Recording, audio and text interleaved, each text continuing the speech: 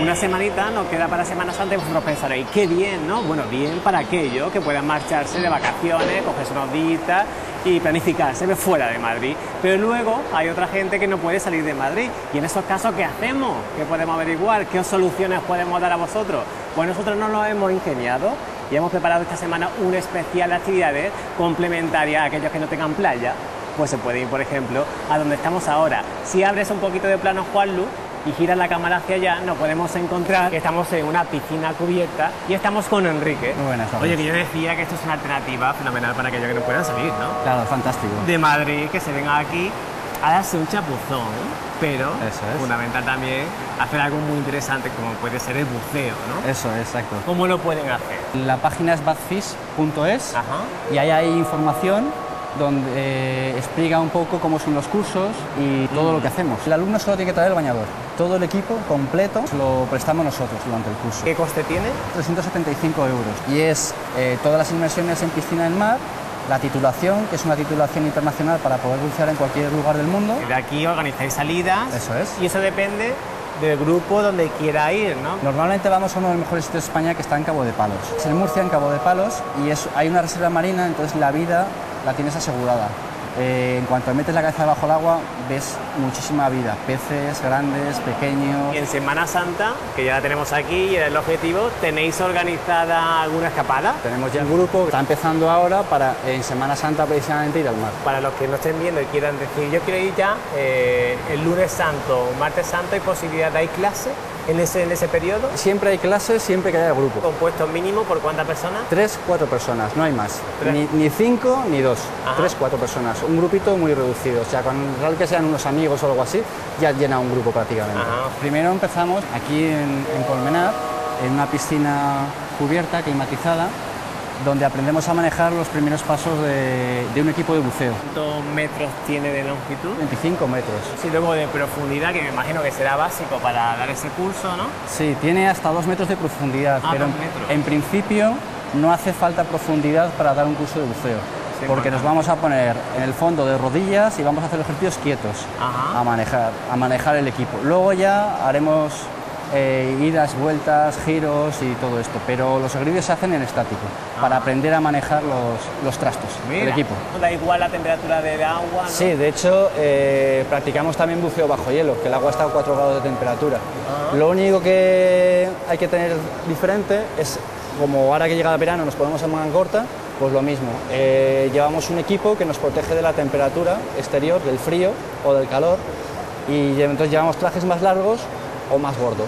Sí que antes de sumergirse hay una fase más teórica, ¿no? Sí, el alumno recibe un kit con un libro, un DVD, un logbook para que el alumno apunte- empiece a apuntar sus inmersiones, la temperatura del agua. Al principio pues se habla un poco de las normas, tablas de buceo, los comentarios, las firmas de los compañeros, porque esto es, es una actividad deportiva que es bastante divertida, entonces eh, siempre sueles apuntar quién, quién te acompañaba, su firma, aunque parezca un poco complicado, luego es muy sencillo. Esto eh, el alumno lo, va- lo va leyendo en casa a- y acompañado con el vídeo y luego yo refuerzo en, en lo que es la playa de la piscina toda la información. Este kit que permite precisamente para todo el mundo que trabaja, que no tiene horario, esto le permite el poquito rato que tiene libre, pues ir, ir compatibilizando su, su tiempo con, con su tiempo libre.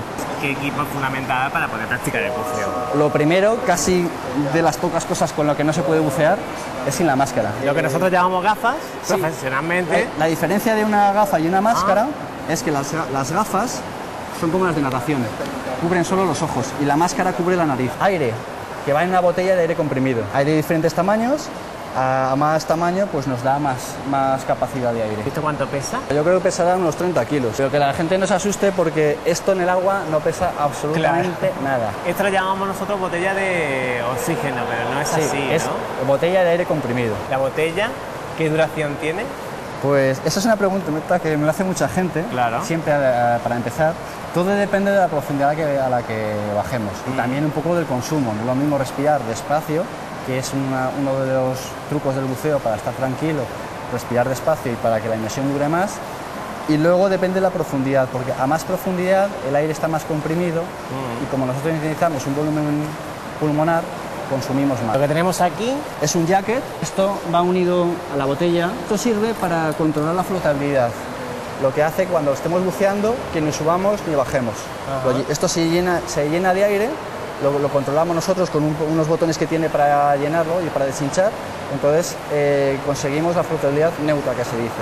Ni subimos ni bajamos. Aparte tiene pues bolsillos para guardar cosas, un pequeño cuchillo que no es para defenderse de nada del mundo subacuático, sino por si hubieras que, cortar un cabo o cualquier cosa. Esto que parece aquí un lío, sí, se llama, es el regulador y esto es lo que une la botella sí con lo que nosotros nos metemos a la boca para respirar. El regulador. Aparte tiene una consola que nos dice la fundida que bajamos y el aire que nos queda en la botella. Esto es una brújula. Debajo del agua, en el mar, en cuanto te metes, todo es igual, pues para saber orientarnos. Claro, largo o corto da igual, la cuestión es que tiene que, tiene que llegar al mismo punto de donde partiste, aunque tenga un guía que más o menos pues, tenga la referencia. Si sales del, barco, volver al barco. Se hacen muy buenos amigos en este mundo. Vale. Se comparten muchas cosas, muchas horas, eh, vamos todos al mar. Es un mundo que llena tanto que al que tienes al lado es que contagia. Ajá. Se hacen amigos y aquí tenemos a dos amigos, ¿no? Aitor. Aitor. Enrique. Y Enrique. ¿Te está iniciando? Es mi primer día. Ah, tu primer día. Sí, siempre me ha interesado y es mi primer día. Hoy es el momento, ¿no? es el momento. Te ayudamos a nadar, te ayudamos a bucear, vosotros sois una escuela que lleváis con mucha experiencia, tú estás deseando ya de ponerte mano a la obra y yo estoy deseoso de, veros, saber cómo organizáis para poner en marcha todo lo que tú me has explicado. Pues arrancamos, pero lo mejor sería que practicaras y que te unieras a nosotros. Yo no me he traído ni equipo ni nada, yo sin embargo con ellos dos yo creo que es suficiente. Sí, tranquilo que nosotros te ponemos todo. ¿Nos ponemos mano a la obra? ¿Nos ponemos todo? ¿Mi primer día también? Claro. Pues venga, nos ponemos. La cremallera se pone detrás y en los pies unos escarpines que son como unas, zapatillas de, neopreno. Esto va metido en las aletas. Las aletas de buceo son un poco más duras que la tradicional de, apnea porque llevamos más peso. Y suelen ser de, suela dura porque si entramos al mar desde costa, zona rocosa, eh, pues que si pisamos piedra no nos hagamos daño. Ah, perfecto. Pues nada más, ¿no? Nada más, pues nada, te esperamos ahí con los equipos preparados para agua.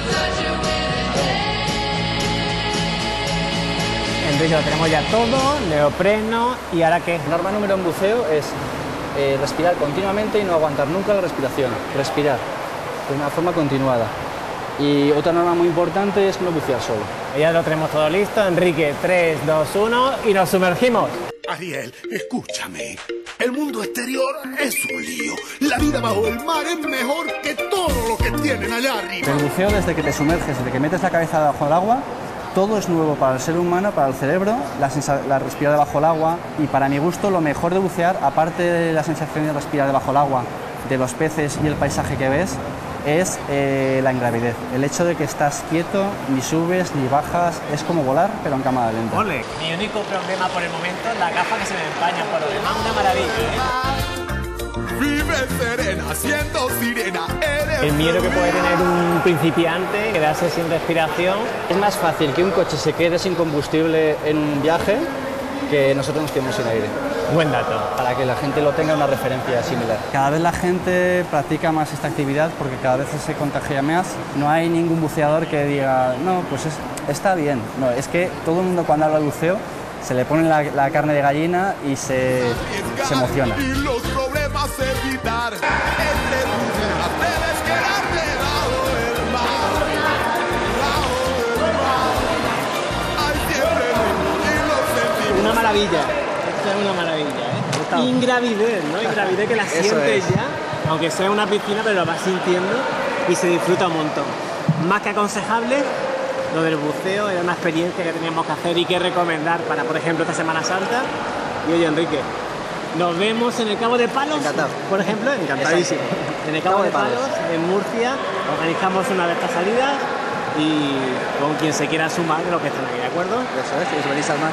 Vale, perfecto. Pues ahora nosotros nos vamos a un sitio ideal, muy mediterráneo, para disfrutar también de esa Semana Santa aquí en Madrid. Nos vemos ahora en ese restaurante Mediterráneo y Vicenco. Yo me quedo aquí un poquito más mientras tanto y después de la vuelta pues a ver con qué sorpresa nos encontramos. ¿Seguimos? Seguimos. El caracol es un gran artista y la cultura llena la pista para que bailes